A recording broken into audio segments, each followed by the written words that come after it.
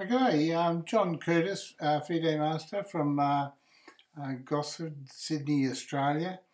Um, I'm going to just analyse two games. Um, one is the um, Bogo Indian, uh, a Bogo Indian game, and the other one a Neo Grunfeld. So um, I'm just going to go into the archive here and um, I'm looking for Moliband. There we go, Moliband 2089. This was just uh, played today, um, and um, he's 2089 and uh, 36 moves. Just just have a look at it. We're going to go into the analysis. Um, um, yeah, we're going to go into this game here.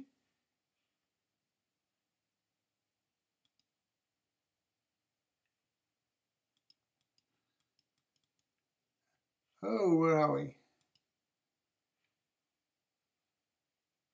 It's going to go into the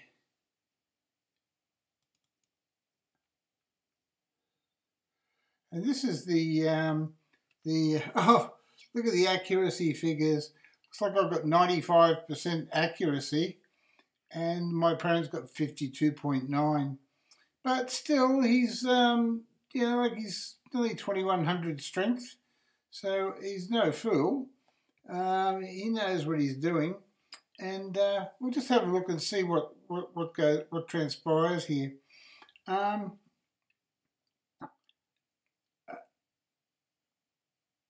we'll start now. Uh, right, so black plays uh, knight to f6 uh, to d4. Uh, I'm playing the uh, the black pieces here. And now white replies with c4. Now, uh, so we've just got the normal opening moves where knight try, uh, white's black knight tries to control the centre. And now I play e6. And um, this is the, um, uh, the one of the first two moves of what's to be a Bogo Indian opening. Right, so knight f6. Now, if um, white had played knight to c3, we would have had like a, um, a Queen's Indian type game. But now we can play this bishop check. Right, as you can see, it's got a little book next to it, so it's a book move. And, um, you know, it's a, it's a very uh, comfortable position for black to play in this variation. And he replied with a book move. And uh, I recaptured, right? Um, you, you can just check the bar. As I say, the bar will show on the side of the board there. It'll show um, the black bar and the white bar, and that'll show who's who's who's winning or losing. Uh, as you can see, white's got an advantage at this stage. So white recaptures and uh, still kept the edge out of the opening. And now black plays queen e7. My plan is simple. That's to play d6 and e5 and try to get uh, play on the black squares. So my bishop can, white, my white squared bishop can move, g'day diamond leopard. So my white squared bishop can move fluently uh, between the pawns on the black squares. As you can see right now, it can't move anywhere. Anyway, that's the plan, the long-term plan. So it's always good to understand your openings, to have a long-term plan. Okay, now white plays knight to c3, and that's a, a book move. It says uh, G, g3 is uh, better.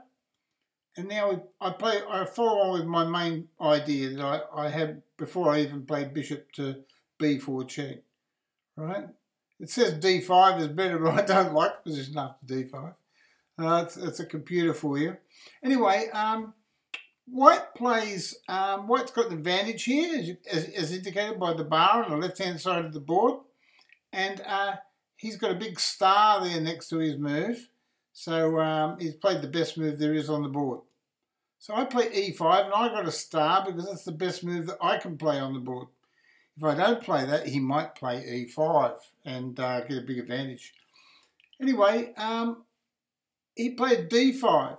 Now, um, it's the, the computer says you should have captured that pawn, mate. That's what the computer's saying. Uh, and now black seems to be closer on the bar indicator to having a level game. So I play knight to b file to d, d, d7, uh, right? And then my plan is, you see the, the, the square there on c5, the c5 square here. And that's what that's where I want to occupy my knight. Uh, the computer correctly says that I should have played a5 and it was a better move. So I got a thumbs up for my move, but uh, it wasn't the best move. Um, and he gets the best move and I get the best move. Whoa, stop there for a second. Uh, right, just go back here a second. Right, so right, so I got I played knight c5 and he replied with bishop c2. I've got a star, best move. So I played a5, and that's to restrict the uh, pawns, the queenside pawns, uh, so I can commit some sort of operations. As you can see, if he was able to play b4 unhindered, he would have got an enormous amount of space. So black's, black's virtually forced in this type of um, structure to set up to play a5 to, and, and to control those squares. Now, when you look at this position, um, what you should be looking at, and when you're assessing it, sorry, what you should be looking at is uh, the, the knights of both players are placed reasonably well. Okay? Now, um, but the bishops, let's look at the bishops. Now, white's bishop, you notice all the pawns are on white squares. And with the pawns on white squares, the bishop, the white bishop, can't move freely. Now that's the difference in the position. And I spoke about that earlier, that my plan was to play d6 and e5. And, and now you can see my, my long-term plan has come to fruition. And my, my, my bishop on, on c8 has now got that beautiful diagonal. It's nice and open, can move freely, whereas white's bishop can't, right? That's the difference in the position here. Um, but, but still, the computer says, the engine says that white's got a better position. So I play bishop to g4. I don't know why I'm threatening to take that knight off. After all, my bishop's better than his bishop. And the computer says, yes, it's not the right move. It's okay. You get a thumbs up, but g6 was a much better move. So how can you argue with the computer? Anyway, he plays queen to um, d, uh, uh, queen to e3, and just fortifies his centre, and he gets a thumbs up for that. But the computer says you should have moved your knight back. Now I took I took the knight, I got the thumbs up for it. Uh, I, in actual fact, I, I, didn't know what to do with my better bishop. I thought, what can I do with it? The the, um, the pawns are stopping me uh, uh, threatening anything. It's going to be hard to get breakthrough. So I thought, well, I'll, I'll just play with the knights. He's still got his bad bishop on c2 that he has to deal with. And maybe my knights in a sort of a closed position can uh, prove effective against his bishop. Let's see how the game goes. So he plays queen f3, gets a star, best move. And if you have a look at the bar on the side of the board, or refer to that again, you can see White's still got the initiative overall in the game. So Black's got to work doggedly to try to get an even, even game, just an even game. So I played c6. Uh, my plan was to, to take the pawn in the middle and then um, play, even if he swaps knights, my plan was to uh, just play my knight against his bishop. Right? I don't know whether that was a good plan or not, but the computer says, hold on a minute, he took the pawn off. Now, as you can see, that's not a good move. The computer didn't like that move. You got a question mark, exclamation mark, which means, anyway, the, but the computer's given the barcode on the side of the board to black as having a small advantage. So I recapture the pawn and I get star, best move. We haven't got much choice there. Anyway, uh, when we assess this position now, we see that a new square has opened up for black. And that's the square on D4. Can you see that big black hole there on D4? Okay, this is all about getting an outpost or key squares, right? And the whole game, you'll see how the game progresses. He castled, he, got a star, but black still, according to the engine, got the best position.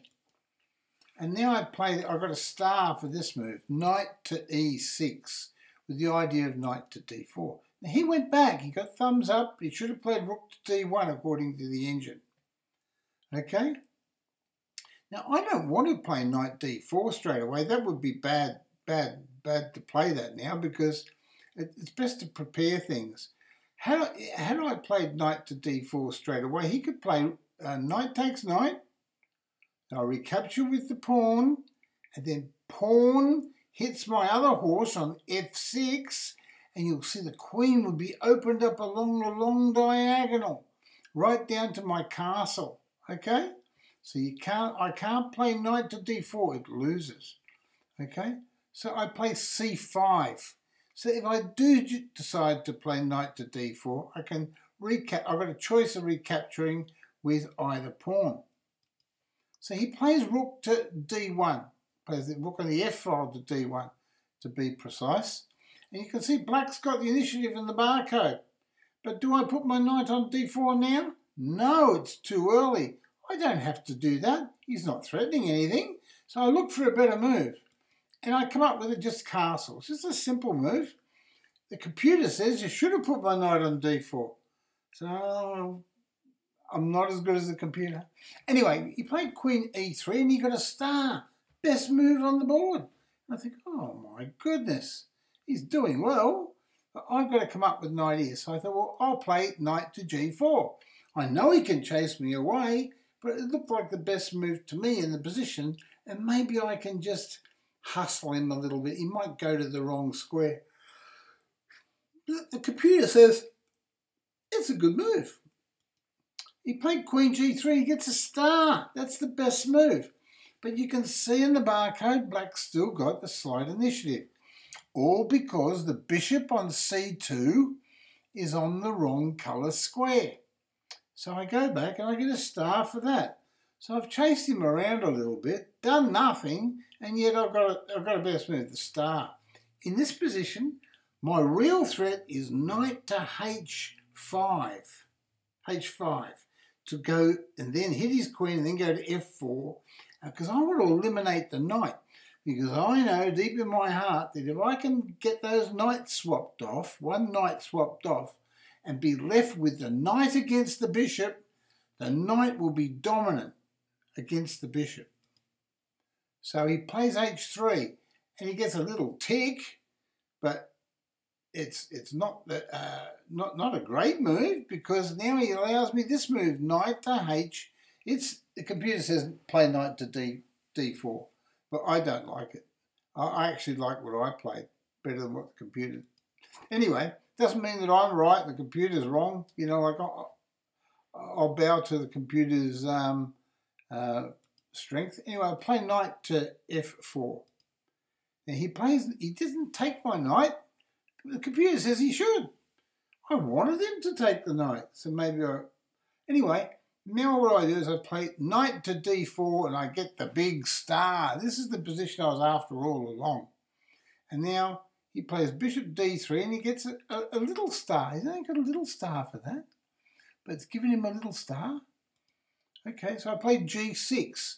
Now, the point of that is to stop his knight getting going in on f5 but also to prepare the move uh, um, F, F5, push the pawn forwards, supported by the rook and the knight, okay?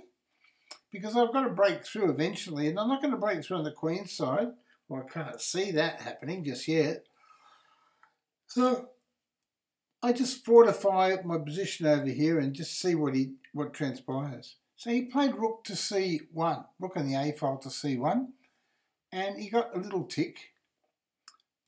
And now I'm playing king to h8. The computer didn't like that. It thought I should have played f5.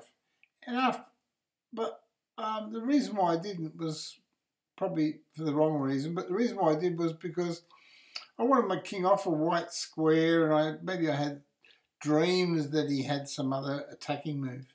Anyway, he played bishop f1. The computer says he should have played g3.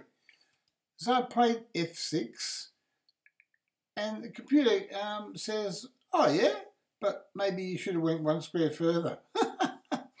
anyway, he played G- G3. He wants to chase my knights away, right? So I thought, I'm going to star because I've got no choice. And then he comes in here and he plays knight to d5. And to all intents and purposes, doesn't it look like a natural move? It, I mean, I would have played that myself in that position more than likely. But don't forget, it's a three-minute game, and we're both under pressure.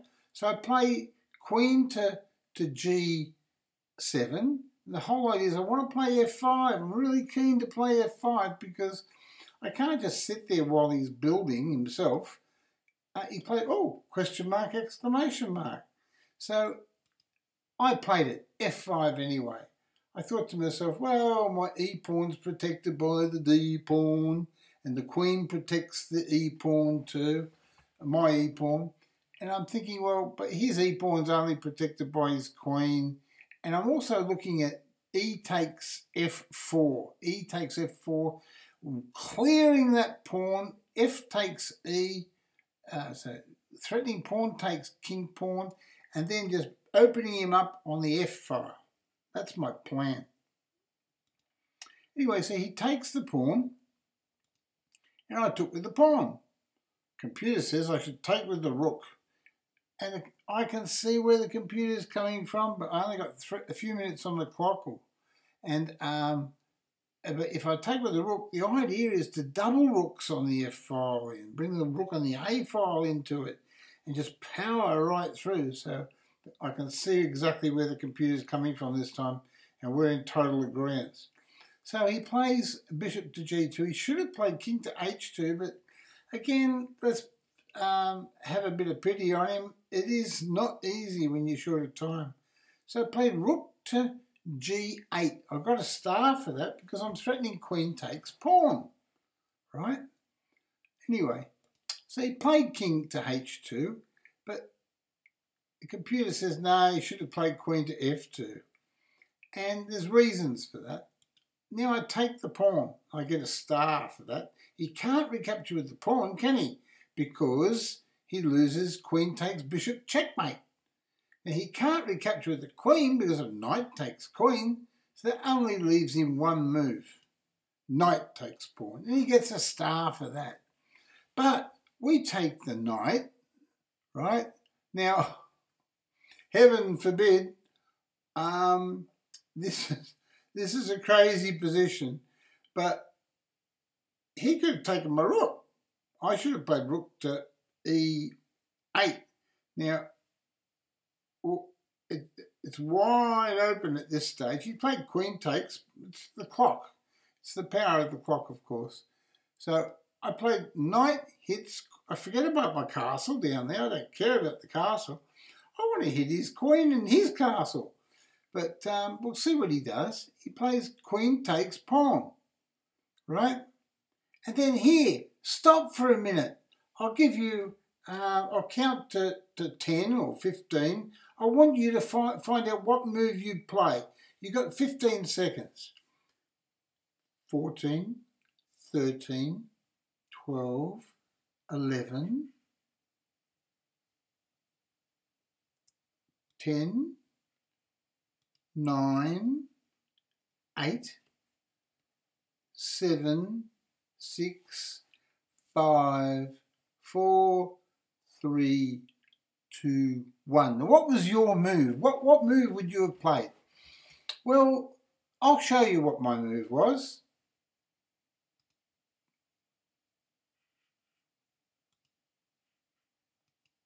Rook to D8.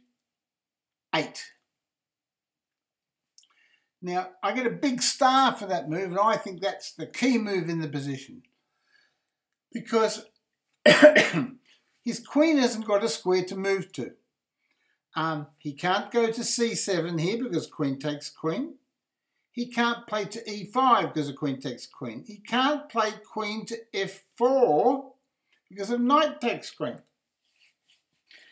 And he thought, oh no,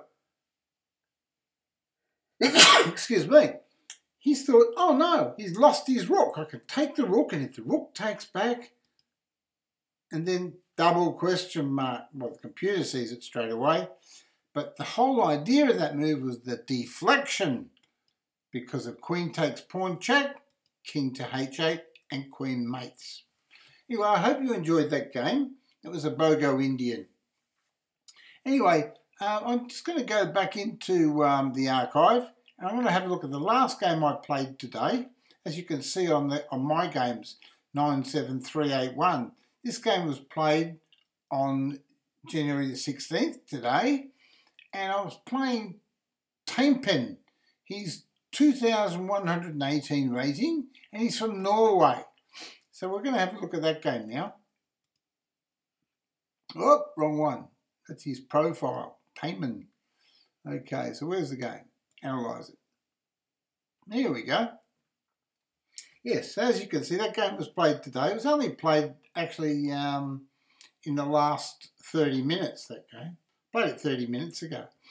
And um, this is the, um, uh, what's his name?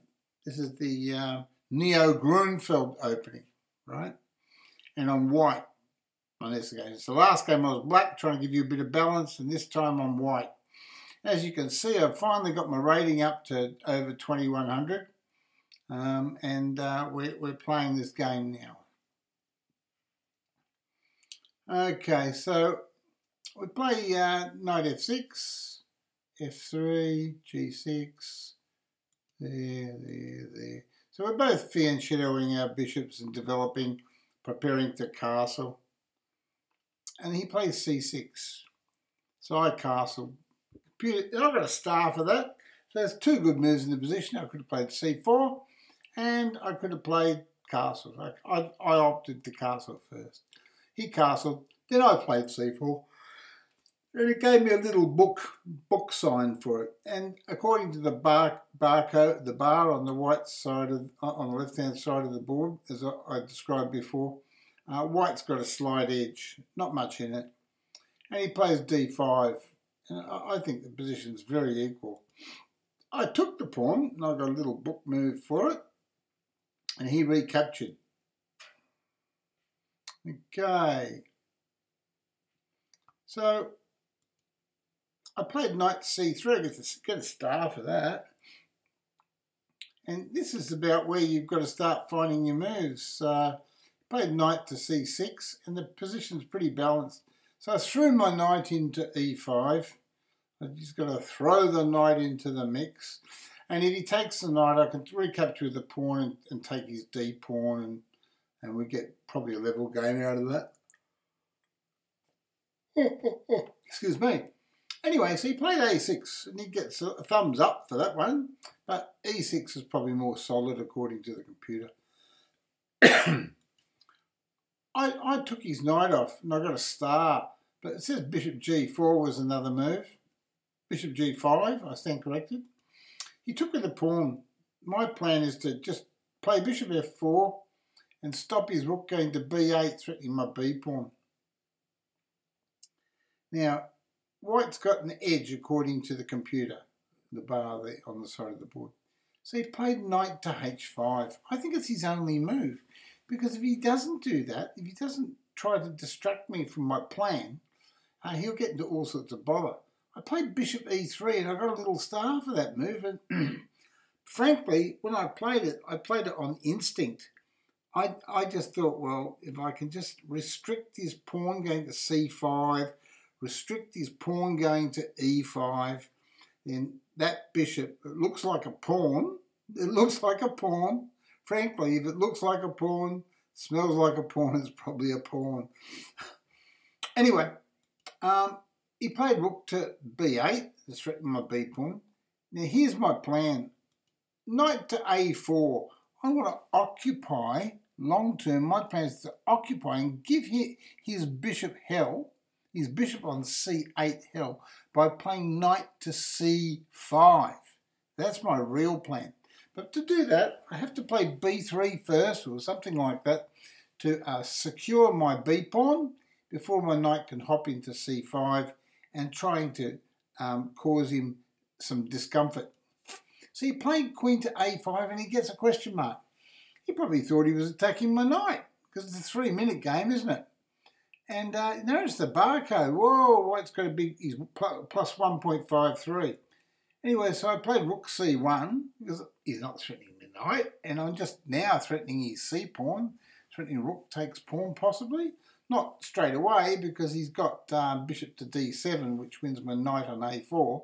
But the point is long term, a long term plan uh, occupying the c5 square and targeting his backward, isolated c pawn. So it's backward, it's backward of the pawn chain, it's isolated because it's backward, there's no pawn protecting it, right? So in my mind, it's an isolated backward pawn to the pawn chain. Anyway, so he plays queen to b5. That prevents me playing my knight to c5. So I play b3 and get a star because I'm pre preparing knight to c5.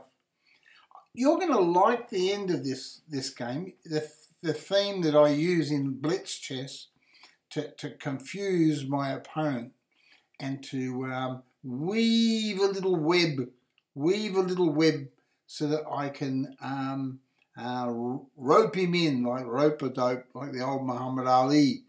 Anyway, you'll see. You'll see when I get there. He plays knight to f6. He gets a star, so he's going all right, but his position is deteriorating. So now I pop my bishop back out because the knight moved, and it allows me to hit his castle. It was at this stage of the game that I'm starting to think, well, hold on, where does his castle go? And he plays rook to b7.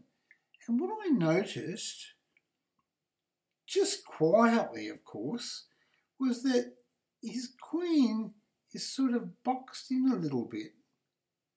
Um, and it hasn't got much scope.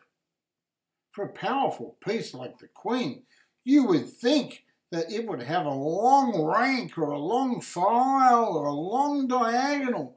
But no, it seems to be very limited in its strengths sitting on, on b5. So I, I kept an eye out for that. I played bishop to d2, right?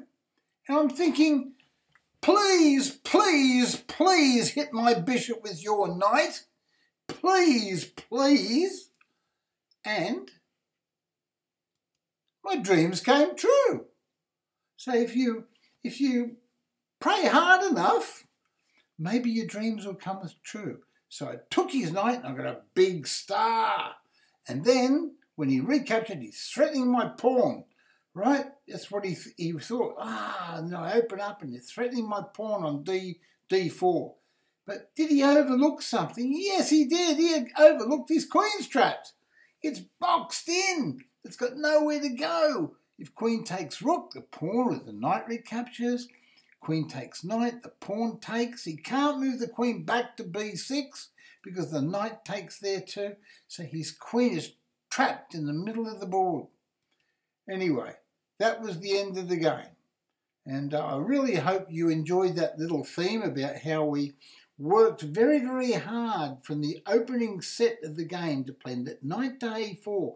And believe me, I'm one of those people that if I, I, I strongly state um, in my videos, I say, oh, knight on the side of the board, the Springer am Rande bring Schande. Uh, the, the Springer, the knight, uh, am on the side of the board, bring Schande, thunder and lightning and disaster. So it's usually not good to bring your knight on the side of the board because it's got very, very uh, uh much less um, influence of squares. And um, uh, the knights don't belong on the side of the board in general play. But this was an exception to the rule, right? There's always exceptions to the rules.